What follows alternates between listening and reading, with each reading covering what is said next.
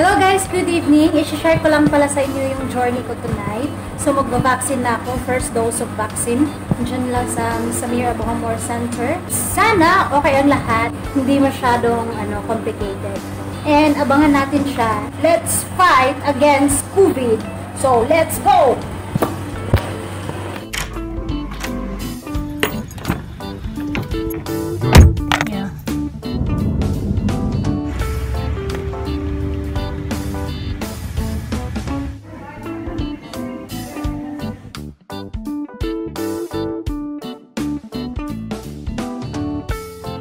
Ayun na guys. Tapos na ako magpa-vaccine ng first dose. So, so far, wala naman siyang effect.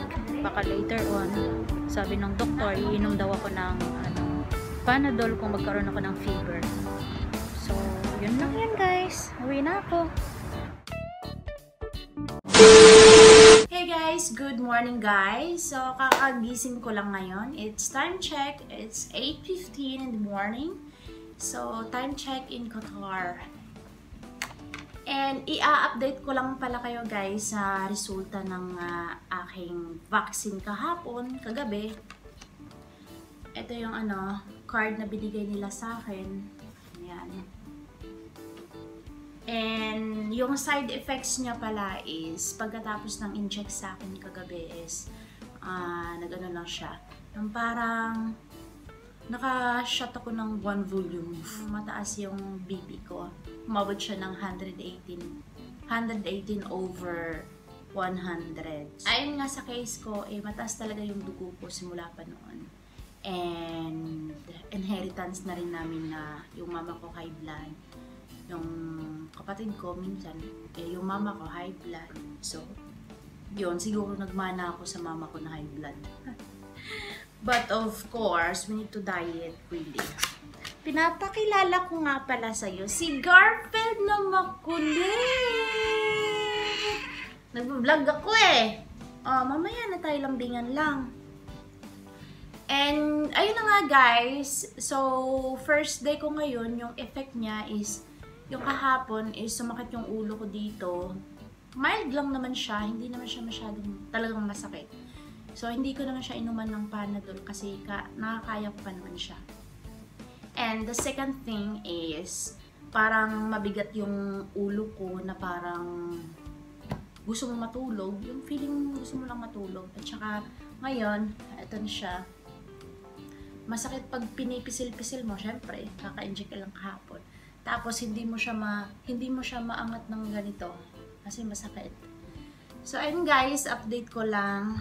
And, yun nga, kapag pupunta ka ng mga clinic dito is, kailangan mo nang magpa-appointment kahit wala kang health card. No, hindi naman requirements talaga ang health card pag pumunta ka sa mga clinic, nagpapa-appointment ka. So, yung second dose ko naman, after 28, Hoy, Kati, health dyan, nag-vlog ako. Ito talaga itong mga pusang to. Gusto mo rin masa masali sa vlog ko, Kati Bells?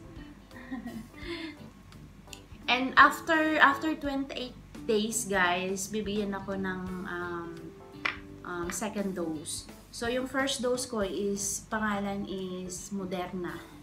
Sabi ng kaibigan ko, eh, yung second dose daw niya is nilagnat daw siya. So far, I'm so lucky today kasi wala naman lagnat, parang mild lang.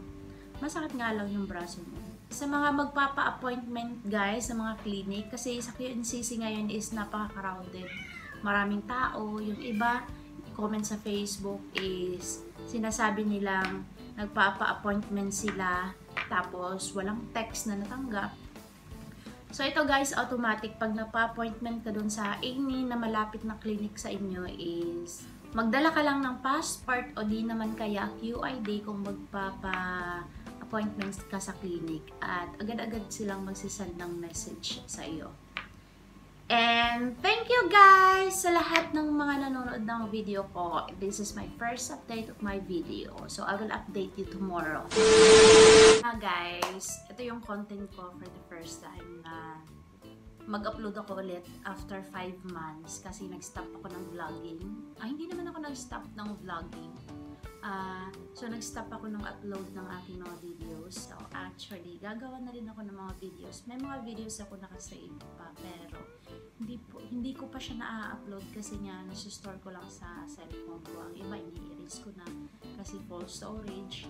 Ang hirap kasi mag-edit. Sabi nga nila, be consistent. Eh, nawala yung consistent ko within 5 months.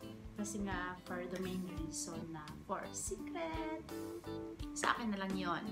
So guys, thank you so much guys for watching. Kung meron kayong mga comments sa baba, mag-comment lang kayo kung ano yung mga gusto nyong itanong sa akin na pwede ko namang masagot sa inyo. See you, bye! Ciao! See you, bye!